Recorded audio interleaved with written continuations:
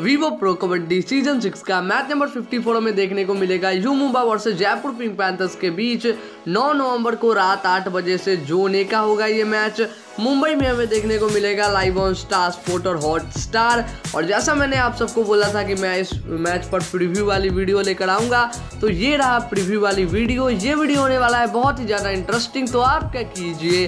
बस शुरू से लेकर अंत तक इस वीडियो को देखते रहिए।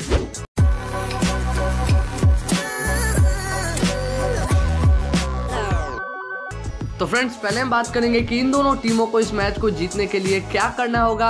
उसके बाद हम नज़र डालेंगे जोन ए के पॉइंट्स टेबल के ऊपर कि कौन सी टीम कहाँ है।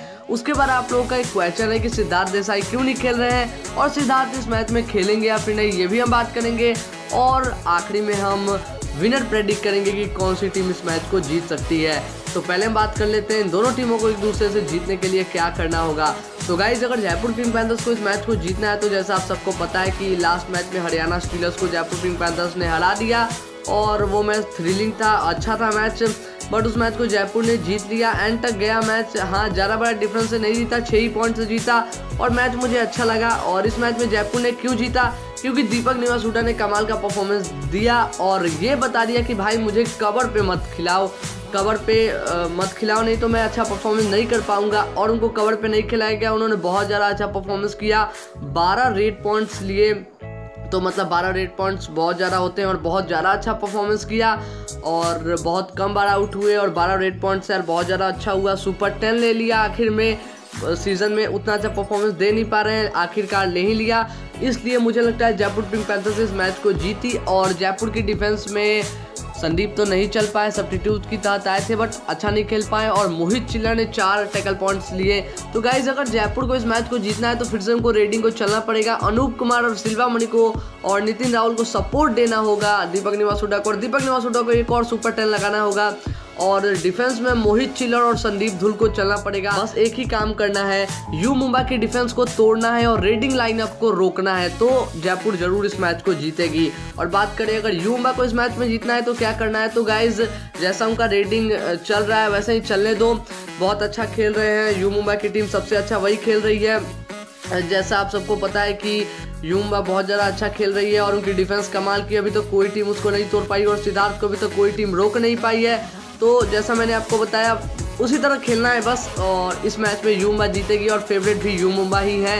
तो ऐसे खेलेंगे तो ज़रूर इस मैच को यू मुंबा जीतेंगे। डिफेंस और रेडिंग को चलना होगा तो ज़रूर इस मैच को आसानी से यू मुंबा जीत जाएँगे।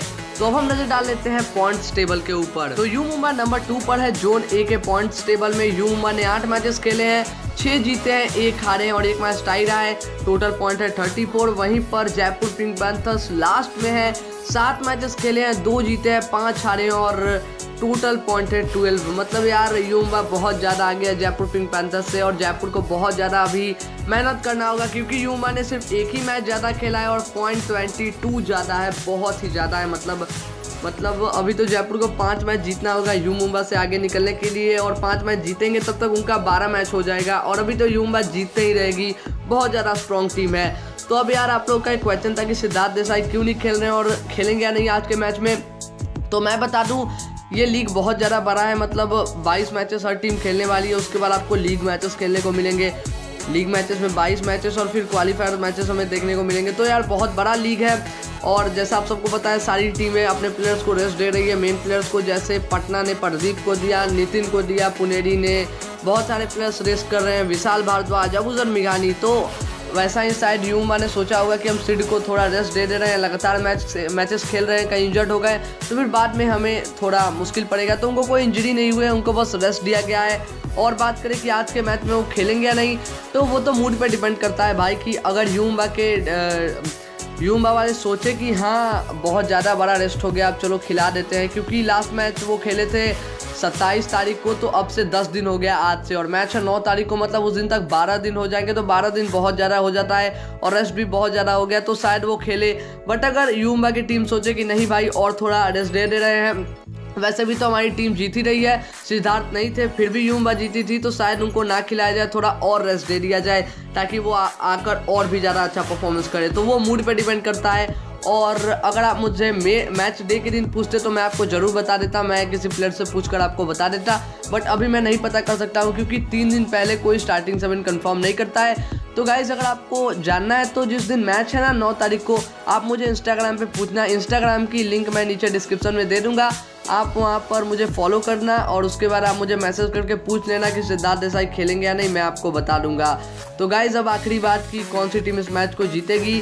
तो मैंने एक पूल क्रिएट किया था आज कम्युनिटी टैब में, उसका अब हम रिज़ल्ट देख लेते हैं एक बार। तो गाइज़ मैंने पोस्ट किया who will win match number 54 और ज़्यादा देर नहीं हुए थे, तब तक ही मैंने स्क्रीनशॉट ले लिया, इसका मतलब उनचालीस मिनट ही हुए हैं। तो अभी तक कम लोगों ने ही मतलब वोट किया था।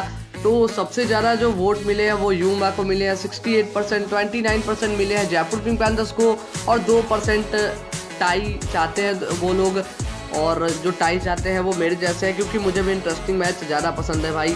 तो दो दो ही परसेंट टाई चाहते हैं और मैच वार में तो यहाँ पर यू मुंबा ज़्यादा आगे है मतलब फैंस यू मुंबा को ज़्यादा सपोर्ट कर रहे हैं।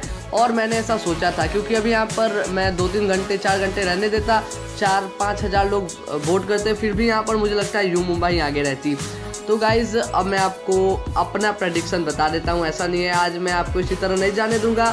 तो क्या प्रेडिक्ट किया जाए यार? तो मुझे लगता है यहाँ पर यू मुंबई ही जीतेगी, क्योंकि यू मुंबई यार अभी बहुत ज़्यादा स्ट्रॉन्ग लग रही है और भले ही जयपुर अपना लास्ट मैच जीत कर आ रही है, ऐसा हो सकता है कि इस मैच को जयपुर पिंक पैंथर जीत जाए। और अगर आप सिद्धार्थ खेलेंगे मतलब उस मैच में तो मुझे लगता है तब तो ज़्यादा पल रहा भारी मुंबा का ही होगा। बट अगर सिद्धार्थ नहीं खेलते हैं तो यहाँ पर मैच इंटरेस्टिंग होगा देखना। और शायद यहाँ पर जयपुर पिंक पैंथर जीत जाएगी अगर उनके रेडर्स चलते हैं तो तो फिर यू जयपुर पिंक पैंथर्स को रोकना आसान होगा यूम्बा के रेडर्स को, क्योंकि सिद्धार्थ नहीं खेलेंगे तो इस मैच को जयपुर भी जीत सकती है। तो बस यही थी वीडियो और हाँ मुझे आप सबको हैप्पी दिवाली कहना था।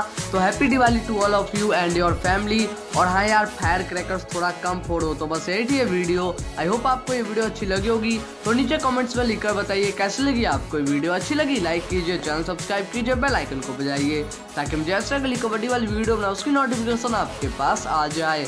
और आपको कुछ नहीं करना, बस अगली वीडियो के लिए वेट करना है।